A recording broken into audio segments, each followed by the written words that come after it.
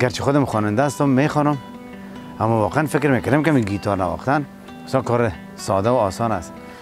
دو ساعت است اینجا درنگ و پرنگ و درنگ و پرنگ. این خب بالاخره ژورنالیست ها خبر شدن من از ما. فیلم برداری می‌کنن که چقدر گیتار خراب می‌زنن. سلام از ای کدام چنل خبری؟ چه؟ ایره طبق که برای شما گفتم رامشگر هم خبر نداشت. چرا من؟ قاسم جان گفتم چون شما هم یعنی تمام ملت تو بگم. به نام رامشگر یا رامشگر سب می‌شناسه قاسم جان برای من راحت تر است. چرا راحت تر است قاسم جان؟ من میفهم من وقت خب. جای دیگه شدم. اینا رو یعنی می‌خوام که- تو صادقانه نه. ما نه زیر نفهمیم کدام غذا داره کدام غذا زیاد دوست دارین آه. چون ما آمدگی از گپ بگرفتیم. خو یعنی نان یک جای. پیسش تو میتیم.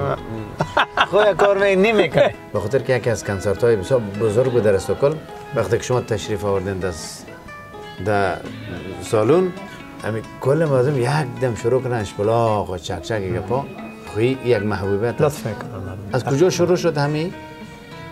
احساسی که شما پیدا کردین که موسیقی رو باید ادامه بدین و یک موسیسین شدین و چی شد که رامشگر قدر محبوب شد به این و اونو چیز من فکر می‌کنم این بالاتر از سطح پروفشنال است.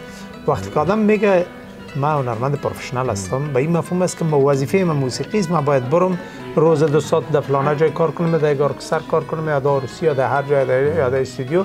چهار ساعت بعد از اینکه خلاص شد باز بگم من خسته شدم برم خانه این پروفشنال بودن است که از موسیقی نان خوردن است.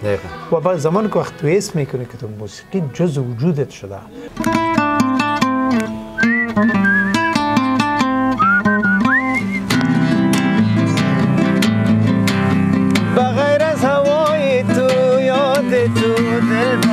برا میل خواست ماجی بگو مهربان من جان من. بشی تو کم و کاست